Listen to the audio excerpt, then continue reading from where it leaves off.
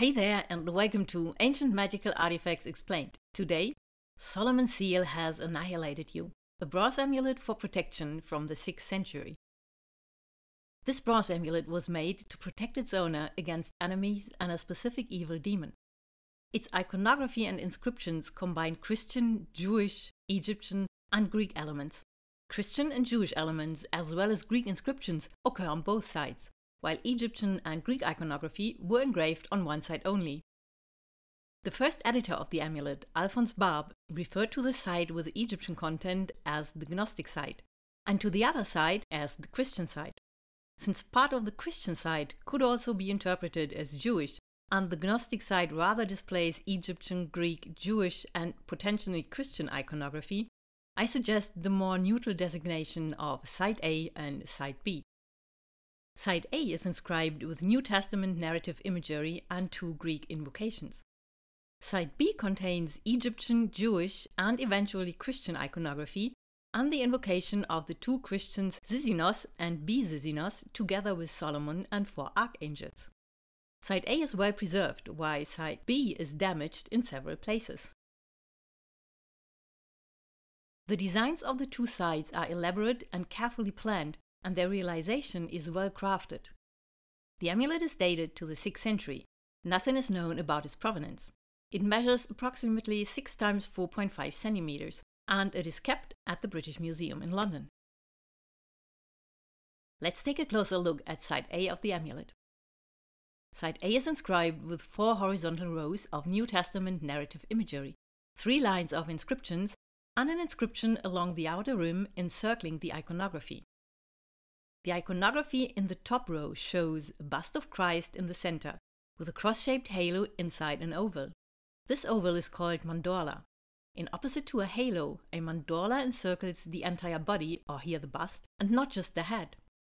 The bust is elevated above the earth by four flying angels, with an eight-rayed star on either side above them. This version of the Ascension of Christ was developed in Syria during the 6th century and later adopted in Byzantine art. It emphasizes Christ's divinity. Following his ascension, Christ takes his seat at the right hand of God. The iconography in the second row starts to the left with a group of two shepherds. The left one is resting on a staff and raising his hand towards the star. The other shepherd is facing him with a shepherd's crook on his shoulder. There are two ewes behind him. Following to the right is the scene of the birth of Jesus Christ and the adoration of the Magi led by a star preceded by an angel with halo and scepter. The Magi are bringing their gifts to the child held by his enthroned mother. Both mother and child are depicted with a halo. In the center of the third row, we see Christ standing between two kneeling women. He's depicted with a halo, scepter, and raised right hand. The woman on the left touching the hem of his garment is interpreted as the woman healed of the issue of blood. The woman on the right might be interpreted as the Canaanite woman interceding for her daughter. Further to the right is Zacchaeus in the treetop, the man healed of the palsy carrying his bed, and another man characterized by the spots on his naked body as a leper. To the left of the center group there is a naked man, and it looks as if his hands were tied behind his back. He is interpreted as the demoniac Raving, with two potentially evil spirits in the air to his left and to his right, seeming to just leaving him. Behind this demoniac, to the very left of the third row, is a depiction of the blind man washing his eyes in the waters of Siloam. The bottom row shows Christ with a cross shaped halo, joining a couple in matrimony. The group is standing inside a building which is likely some kind of aedicula, a small shrine. The five amphorae to the left of the marriage scene extend the subject to the wedding of Cana, the loaves or baskets and two fishes to the right extend the whole group to a symbol of the Eucharist. The miracle of Cana served as a symbol of Christian marriage. These four image rows are separated by three lines of Greek inscriptions. They read, O Lord, give not strength to my enemies, as thy right hand protects me everywhere. The right hand is a referral to Jesus Christ and likely to Psalm 110:1. The Lord says to my Lord, Sit at my right hand until I make your enemies a footstool for your feet, meaning bringing them under the control of Jesus. Images and text are encircled by another Greek inscription reading, Turn evil unto the heads of those there, O Lord our God. Do not give them power. The Greek term translated here as power is dynamis, commonly occurring in the Greek magical papyri as well as in Gnostic texts and in modern publications often translated as magic. The aim of the inscriptions is clear to protect the owner of the amulet against enemies and to render these enemies powerless. But it is not stated if the enemies in mind are of human nature or higher powers. We will get back to this question later when we have looked at the iconography in its entirety. Alphonse Barb concludes that these invocations in the language and style of the Septuagint could just as well be Jewish as Christian, but the latter element is added abundantly by the figures. This is the iconography of side A. Let's now take a closer look at side B. The upper half part of the iconography of this side of the amulet was designed symmetrically. In the top center we see a four-winged male figure with a halo, standing on two crocodiles and holding two scorpions in each hand. His knees are decorated with lion mask indicating protection. The face of the deity is that of the Egyptian dwarf protective god Bes, potentially having ram's horns on his head. Inside the halo we can see a scorpion and a crescent. The interpretation of the third sign remains unclear. I wonder if it could represent the flagellum or scourge, which is a sign of rulership of various Egyptian kings and deities, for example Min, Osiris, Horus, and the Horus child. The iconography resembles on one hand the type of Horus on the crocodiles, but Horus is usually not depicted with wings. On the other hand, it resembles the type of the Pantheos, who is regularly depicted with wings, but usually standing on a cartouche either containing dangerous animals or an inscription. A few examples show the deity standing on the back of a lion, but we have one other example of him standing on a single crocodile with scorpions to his right and left. Both depictions, Horus on crocodiles and the winged Pantheos, were popular in ancient Greco-Egyptian magic, and both depictions of the deities represent a protective meaning. In the case of Horus on crocodiles, especially in context of poisonous, life-threatening stings and bites. The standing on dangerous animals is interpreted in two ways as the deity possessing the specific prowess of those animals, and as the overcome animals serving in subaltern positions as protectors. In a comprehensive study on the Pantheos, the Egyptologist Joachim Quack recommends to rather use the term polymorphic deity due to a lack of actual ancient sources providing evidence for the existence of a pantheos. We still don't have a clear understanding of this ancient deity. To the right, to the left, and above the deity are ancient magic signs. These signs were called characteres, and ongoing research shows that they likely originated in Greek culture. The vast majority of the signs here displays ring endings. While the meaning of most of the signs remains unknown to us so far, the crescent symbol accompanied by the eight-pointed star with ring endings to the left of the central figure, underneath the wings, likely represent the sun and the moon. Let's focus on the magic signs for a moment.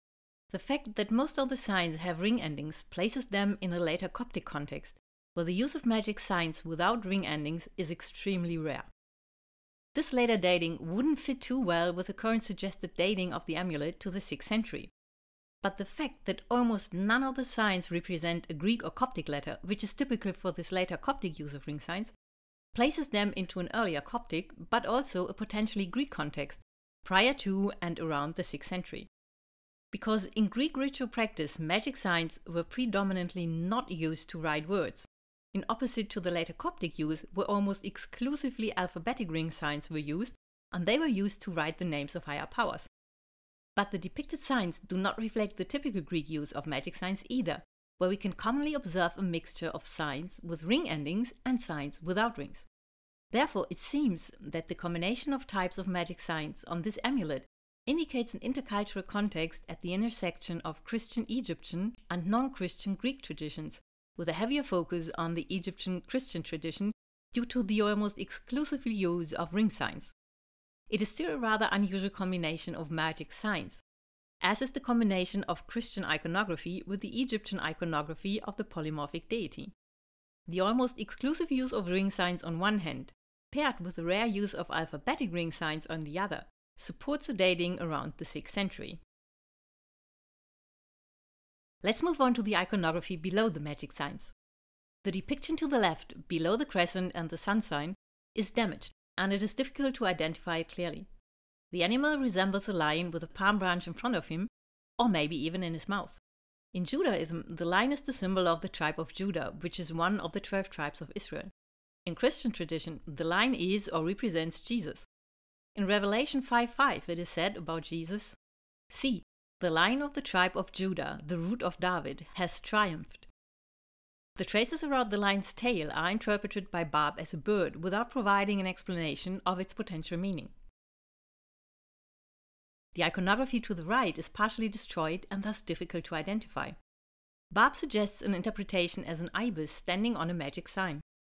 This would be a unique depiction. Magic signs are not attested in any other source with an animal standing upon them in a way that the animal would constitute a part of the sign it would be more likely that this iconography depicts an ibis on a standard, like we can see on this gold amulet from the 20th century BCE. But as you can see, the iconography doesn't really fit this type too well. There is another ibis type attested on multiple gems, which might come closer to the traces we can observe on our amulet. The ibis on these gems is depicted next to an altar, tied to it with a cord, and the altar adorned with three lines, which are interpreted very differently as stalks of a plant, as nails symbolizing binding, or as a hieroglyph. While the iconography would fit slightly better with the traces on the bronze amulet, the amulets depicting this ibis type were used in context of digestion and colics and, based on an interpretation provided by Barb, as protection against poisoning. As we will see, none of these overlap with the purpose of this amulet as given in the inscription on this side. But the idea of the ibis as a protector against poisoning does connect to the polymorphic deity holding two defeated scorpions in his hands, considering that scorpions were ubiquitous in Egypt, with all of them being poisonous. Still, there are three critical arguments against an interpretation of an ibis. First, the way it is currently interpreted, the ibis would look to the right, away from the figure and away from the center of the iconography. In terms of the symmetry of the design of the amulet, this is rather unlikely. We would expect the depiction to face towards the figure in the center. Second, the ibis would be pretty small compared to the lion. And third, the beak of an ibis is bent, not straight, and usually this is depicted correctly on gems and other amulets. But there's also a strong argument for the interpretation of an ibis, but in order to fully understand it, we need to understand the inscription of the site first. Therefore, I will place the discussion of this argument at the end of the video where I discuss some final thoughts about our amulet. Below these depictions are two groups of magic signs, one to the left and one to the right of the two crocodiles. To the right we can see three ring signs of which we don't know if they had an individual meaning. The signs to the left are very much damaged and difficult to identify.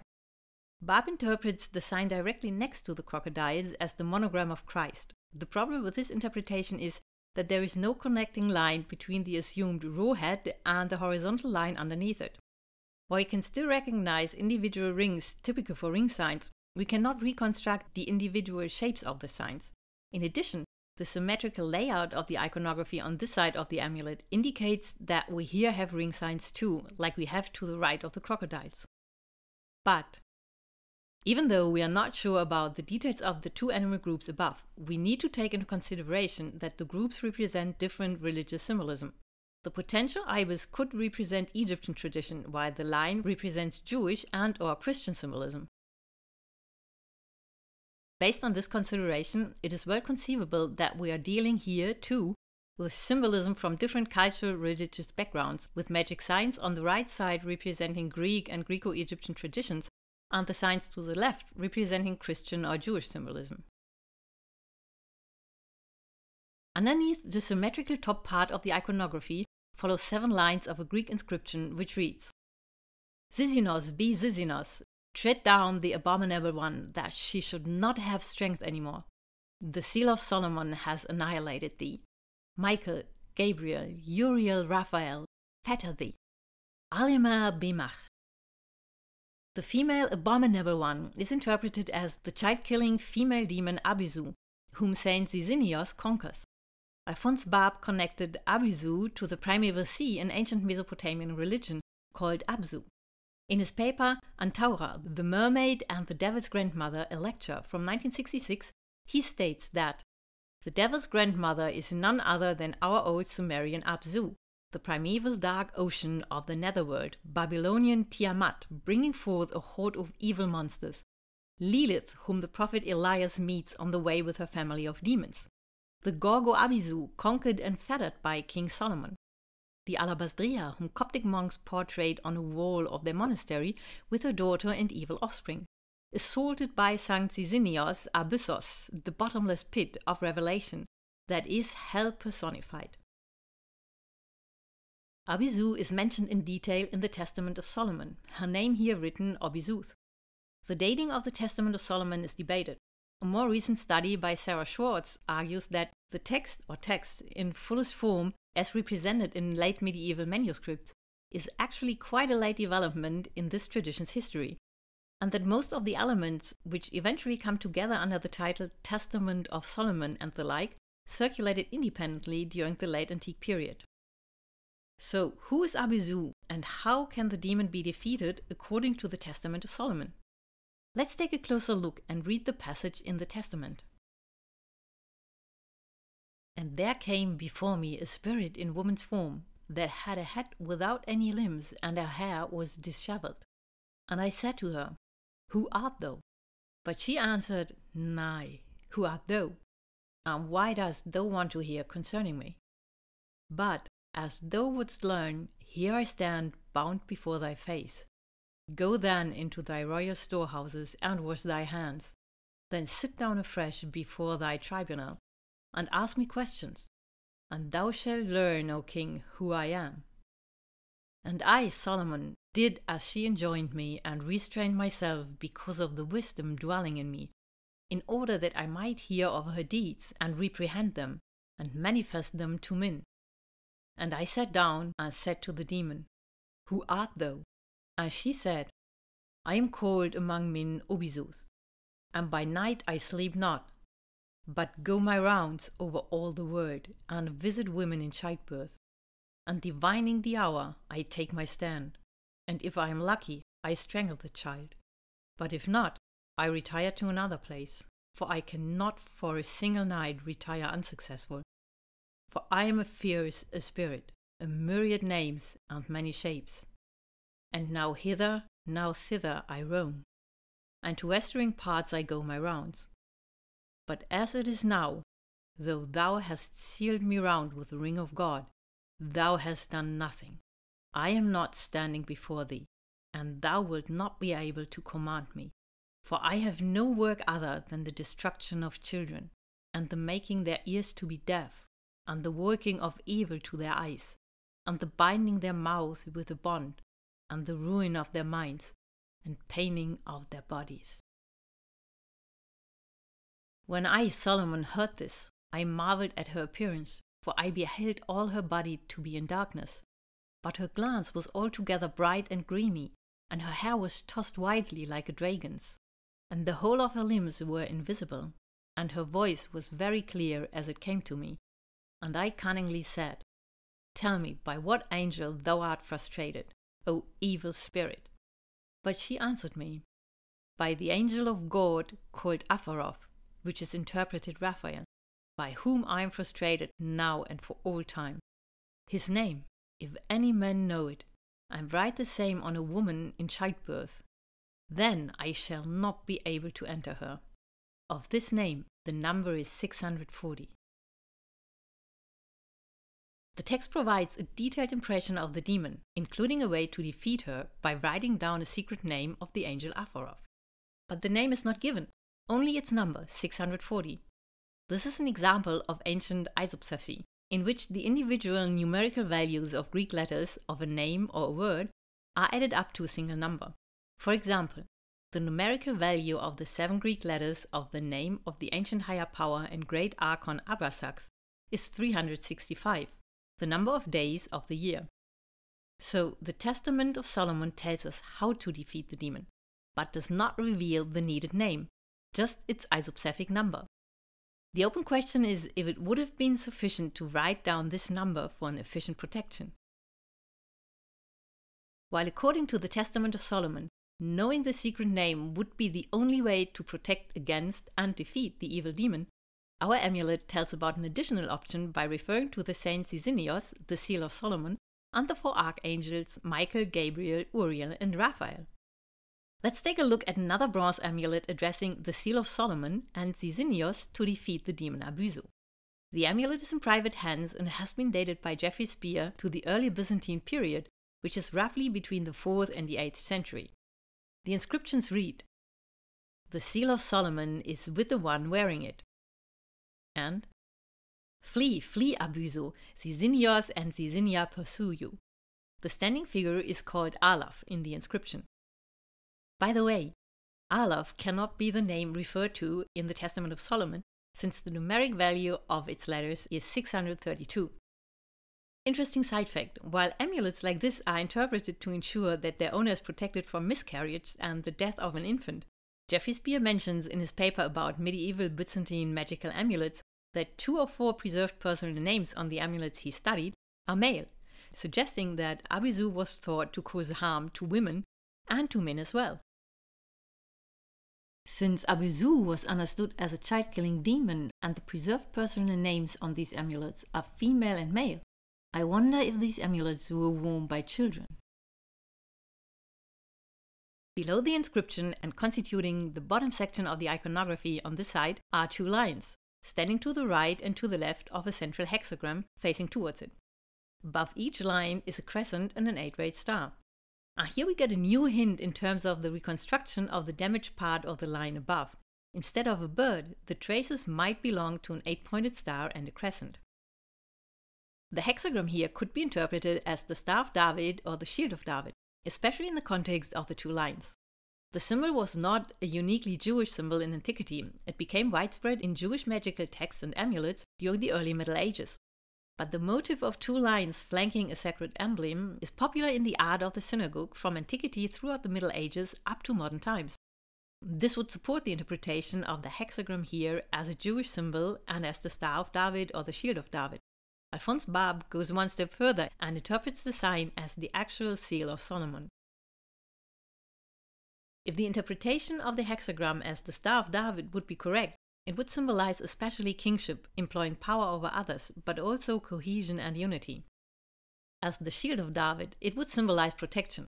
According to Jewish legend, the hexagram decorated the shield of King David when he fought King Nimrod. In the second century, Rabbi Akiva is said to have chosen the Star of David as the symbol of Bar Kokhba's revolt against the Roman Emperor Hadrian. When thinking about the meaning of the hexagram here on the amulet, we have to take into consideration its pre Islamic dating to the 6th century when the symbol was not as widespread and popular as it became later. Based on the overall iconography as well as the content of the inscriptions, a protective meaning in combination with symbolizing kingship and power over others seems to be a reasonable assumption. The center of the hexagram is damaged, but there are still traces of an origin decoration visible, though too vague for an interpretation. At the top of the hexagram is a sign consisting of three lines with ring endings. This sign occurs repeatedly in Coptic ritual manuals on top of the heads of higher powers.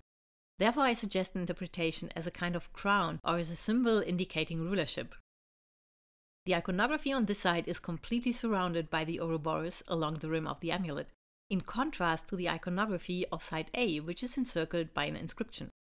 The purpose of both encirclings is the same protection, so that nothing from the outside can harm what is inside, meaning that the power of the images, symbols, and words inscribed here is protected against potential attacks.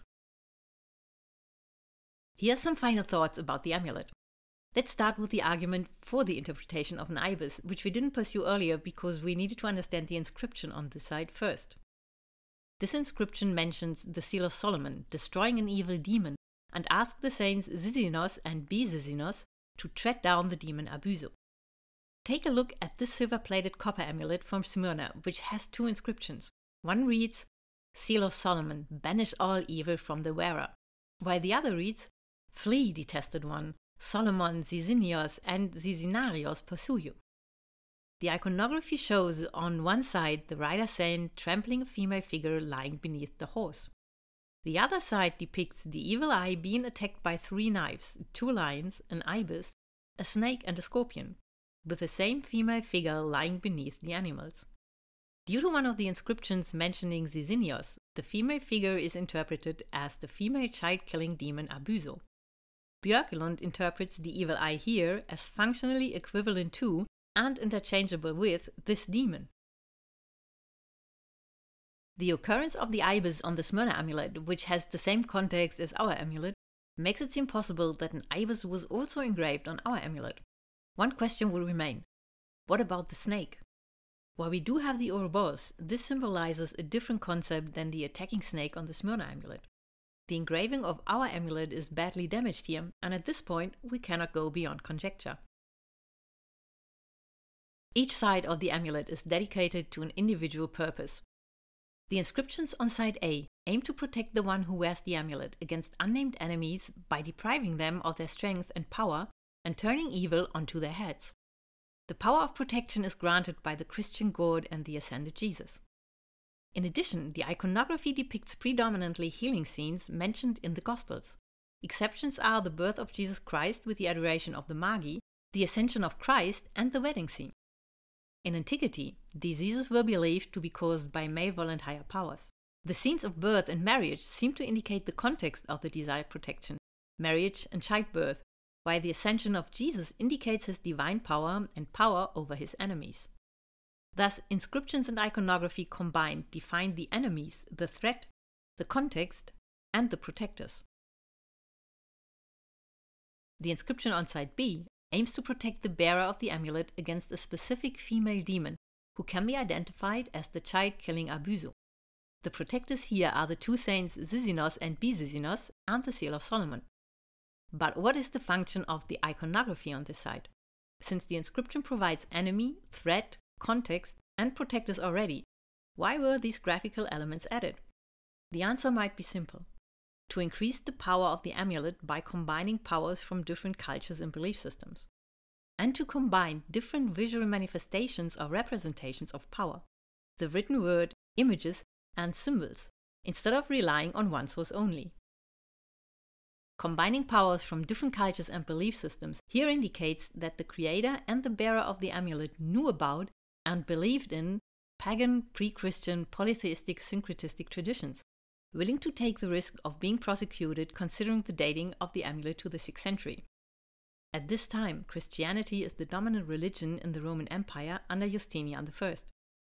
Keeping in mind that the famous temple of Isis at Philae in Egypt until then the last officially tolerated pagan sanctuary in the empire, was closed by imperial troops around 536, that the accusation of secret paganism developed into a popular instrument to incriminate disagreeable members of the upper class, and that Justinian ordered the persecution of non Christian grammarians, rhetors, physicians, and legal scholars in 545 546, and had pagan books publicly burned in 562 the awareness of the danger could have led to the decision to create a safe iconography for Site A, which is entirely based on elements related to Christian belief, and to include pagan elements exclusively on Site B. Site A would then have been worn as the visible side and Site B as the hidden one. The polymorphic deity is presented here in his competence as a most powerful protective deity, depicting his enemies under his feet, meaning they are under his control. His protective powers comprise defeating diseases as well as defeating enemies, and thus show a parallel to the powers of God in Christ on side A. The interpretation of the hexagram as the Jewish symbol of the shield of David on one hand and the Star of David on the other would add a third powerful protective ruler source to the iconography of the amulet. Taking into consideration that while the pagan Greco Egyptian syncretistic belief systems and Christianity portrayed their gods and higher powers, in Judaism, God is never portrayed in any image. The hexagram would be the strongest iconographic symbol to represent Jewish divine power. How about the magic signs? The archaeological record and especially the ancient ritual manuals teach us that these signs were understood in several different ways. There was not one single concept on which the application in ritual practice was based upon, nor one school of thought. We can see that here on our amulet, the signs were not used as a sacred script, like they were in later Coptic sources, since most of the signs do not represent letters.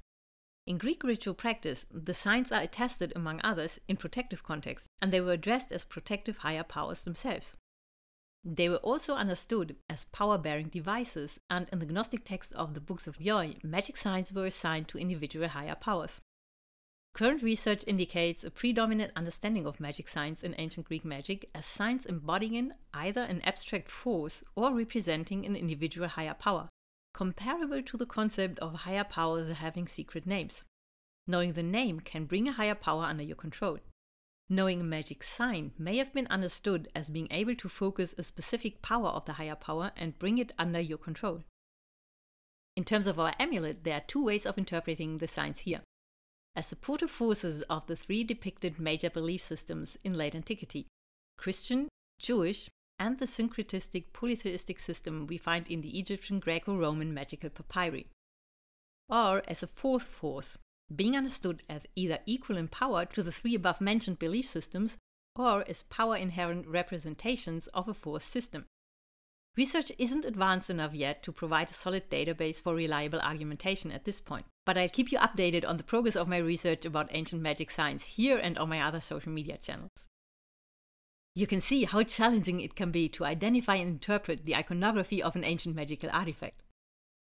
Thanks for listening and watching. I hope you enjoyed it. You can find the references I made during the video in the description below, as well as a link to more images of the artifact.